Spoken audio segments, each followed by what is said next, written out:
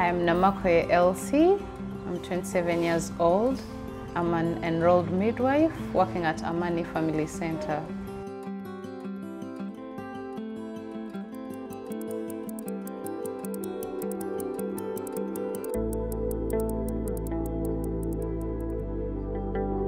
Amani Family Center is here providing healthy services more so to mothers, antenatal care, safe deliveries, and social support to the mothers from the very big slum we have down here.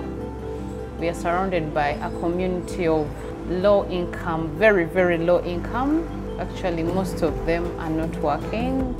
Amani is here giving support, giving hope,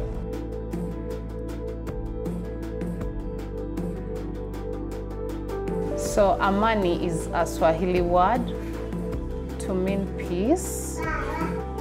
All the mothers that have come into the gates of Amani have received the most compassionate care I've seen from the highly skilled staff members around.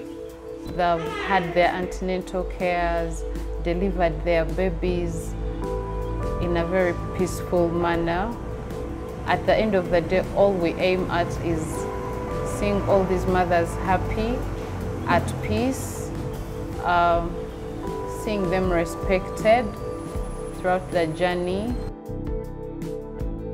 Amani Family Center has really given hope to the mother, mostly to the mothers around the slum, around the community, because initially there was a lot of fear like pregnant mothers would fear they wouldn't be having money, enough money to go to those big clinics around to deliver, to have safe deliveries.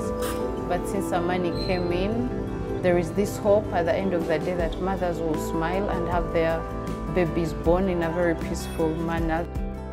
Since we've been receiving support from Mama Imara, we've managed to deliver a thousand babies in this community with your help.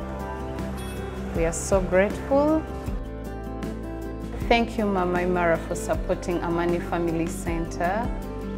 Thank you for giving us these big smiles. Thank you for supporting our mothers. We are so glad. Thank you for putting light at the end of the tunnel, for making us know that our pregnancy isn't like a disease or it isn't a very hard time to go through. Thank you for making it a very nice and sweet experience. We thank you for your support. Because you give, we are able to give free healthy care services to the mothers. Because you give, we can save lives.